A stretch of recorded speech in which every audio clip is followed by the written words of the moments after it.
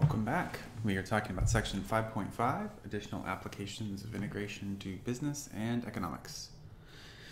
In the previous video, we tackled the future and present value of an income stream or income flow. Uh, we're going to try to work on consumer willingness this time and also consumer surplus. So let's see if we can get to the right spot.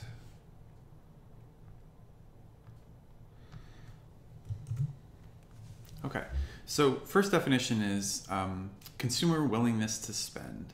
And, I, you know, I don't know, this is a definition that kind of makes it sound like it is. So if we're looking at a demand curve, and so remember that this generally tells us the, the frontier at which a consumer would be willing to buy something. So we're measuring price on the vertical axis and quantity on the horizontal axis. This is common with economics, not as common in math.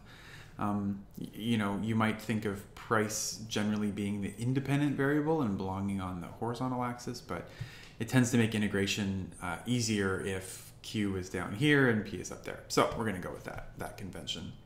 So the willingness to spend, WS or CWS, um, is basically saying, look, if this is the highest price that a consumer is willing to pay at any given amount of demand, so this is actually the entire market's willingness to, to pay, then if you're willing to, uh, you know, if you're only uh, going to sell, say, 10 4K TVs, then the price that you can charge is pretty high because you can find a few consumers who are willing to charge, uh, are willing to pay that. If you only want to sell 10 and you charge less than that, it should be easy to find people who are willing to pay less money. And all the way down to, you know, sure, I'll take a free 4K TV. Um, so if you we, if we fix a quantity that we want the market to to sell, consumer willingness to spend is essentially the area underneath the demand curve up to that quantity. So it is precisely this shaded region. And uh, it, it's a quantity because if you take dollars per unit and you multiply by units, you get uh, dollars. So this is the, the dollar value of what consumers are willing to buy. So we'll, we'll do a combo uh, of that in, along with this new topic here in just a sec. So here's our second definition here, consumers surplus. And so basically the idea with this is that if you take the consumer willingness to spend, that's great. But if you actually look at the market, nobody is selling 70 inch 4K TVs for 20 bucks. So what you also have to compare is uh, if, if you're at a particular market value, so if this is the quantity you want to sell, here is where you would imagine that price being leveled out at. So all of this is basically just kind of pipe dream. It's stuff that consumers would certainly be happy to pay for because the prices are way lower, but that's not what the market is actually at. So if the market is at, sitting at this price for 70 inch 4K TVs, uh, that sounds fine. But remember, the demand curve is showing you what consumers are willing to buy anyway. So if this is where the market's at, anything between the actual price and what consumers are willing to pay is kind of gravy. It, it's things that they think of as getting a deal, essentially. Because if, if I'm the consumer who's at this point on the demand curve, any of these prices between P naught and my height seem good to me. I'm willing to pay $1,200. I see a price of $800. That's going to feel like savings. So this idea of consumer surplus is kind of psychological, but it's the notion that consumers are seeing a price that's lower than what they were willing, and that feels good, essentially. So what we start with is the willingness to spend, the entire area underneath the um, the demand curve, willingness to spend, but then subtracting out the this little rectangle down below, um, because that's those aren't realistic prices anyway. So let's try it with an example. So we'll stick fairly generic. We'll just say, oh, it's a product. Um, so we'll say it has a demand curve that looks like D of Q equals root 1600 minus Q. This is in dollars per item when Q items are sold. Um, and then let's look at the supply side of this as well so we can bring back a topic we haven't talked about for a little bit, which is market equilibrium. So here's our supply curve. It's much nicer. It's just a line, but uh, the two questions we are in charge of answering are what is consumer willingness to spend and what is the consumer's surplus, both measured at market equilibrium. So the first thing we have to remember is what market equilibrium is. but you might recall that's where demand and supply functions are equal. So it's the quantity where you get uh, equal pricing from the supply and demand sides. So we set the two uh, equations, two expressions equal to each other. So we've got demand equals supply. Uh, we can square both sides to try to get rid of that radical. That's a typical strategy for solving radical equations. And then once we distribute stuff out, we, we notice we definitely still have a square in there. Uh, factoring does not look like it would be fun. But we could use quadratic formula or Wolfram Alpha or Maple or whatever it is you're using, uh, graphing calculator too um, to get a couple of surprisingly nice solutions. Uh, you know, you might not be expecting whole numbers there, but pleasant surprise. So there's two solutions ostensibly, but of course, since we're talking about real things, negative 12,800 units doesn't really make a whole lot of sense. Um, so we'll stick with the positive one and say, okay, here is our one solution that is actually meaningful to us. Um, if you're if you're feeling mathematically adventurous, you could also take this and plug it back into the original equation, and you'll notice that it actually is an extraneous solution. So not only does it not make sense in context, it actually isn't a solution to the original equation anyway. Okay, so our first task was consumer willingness to spend. We have determined that it's 1,200 units where market equilibrium is going to happen. So that willingness to spend looks like just the area underneath the demand curve. So the integral of d of q, the q naught is our cutoff point. Here's our demand function we were actually handed. Uh, I'm going to do a little substitution because the square root is a little more complicated than we're comfortable with.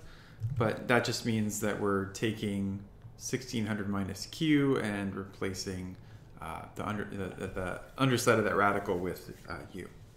And then you'll notice that the differential pieces, dq, since the derivative of this would just be negative 1, dq can be replaced with negative du. So pretty pretty smooth transition there, just an extra negative sign. And then we're pretty good at square rooting stuff, or rather taking the integrals of square rooting stuff. We're also probably good at square rooting things. Uh, so just remember that this was uh, u to the 1 half. So when uh, power goes up by 1, it's going to go up to 3 halves. We divide by that new power, so dividing by 3 halves is the same as multiplying by 2 thirds. And then we had that negative factor from the differential substitution too. I'm still reminding myself because this is in we're in U territory right now. I'm still reminding myself that it's actually Q values that eventually we want to plug in. So I don't want to I, don't want to accidentally plug in 1200 for U because that's not really what's going on here. Since the integral stuff is done, we can do, get rid of our substitution stuff and go back from U's to Q's. Uh, and then at that point, I don't really need to remind myself because these really are Q's, There's no ambiguity. So we plug in our 1200, we plug in our zero, and we get approximately 37,000 and change. So this, I think, was in dollars because we just had dollars per unit and, and number of units sold. Um, so this consumer willingness to spend says uh, if the demand side of this had its way, if the producers were willing to sell at any price that consumers were willing to buy it, we could sell 1,200 units of this for a total of $37,000. But that's going to include people who are willing to buy, you know, whatever it is, our, our 4K TV for, you know, dirt cheap. So making it a little more realistic, we'll consider the consumer surplus side of this. I realize this is still, you know, fairly contrived, but we're trying to get used to what's going on here. So consumer surplus is the thing we just figured out minus the actual uh, amount. Um, so we've got uh, the integral that we just did, which is going to look very familiar, minus basically the, the product of uh, price and quantity at this equilibrium point. Okay, well, we have one challenge, which is that we know what Q naught is. We, we already are familiar with the uh, quantity that is sold at equilibrium, but we actually don't have this just yet. Um, but that's okay, we can go back to it. So remember, we're at equilibrium. That's not always the case. Sometimes they will tell you just here is a Q naught to work with. And we'll have to know whether we're working the supply or the demand side of things. But since we're working at market equilibrium, basically all we need to know is uh, if Q was 1200, what is P? And since it's equilibrium, we could go to either the demand or the supply side of this to get an answer. So we're going to look at demand just because, you know, why not? And uh, if we plug in 1200 to our demand formula, we get 20. Um, so what that means is uh, we just figured out here is P naught. This is the price at which our product would be sold. So uh, we already did the integral, so we'll just snag that 30, 37,000 that we did before. Again, this is just willingness to spend. Here is Naught, here is Q naught. So our consumer surplus is pretty easy in this case since we'd already done the willingness to spend side of it.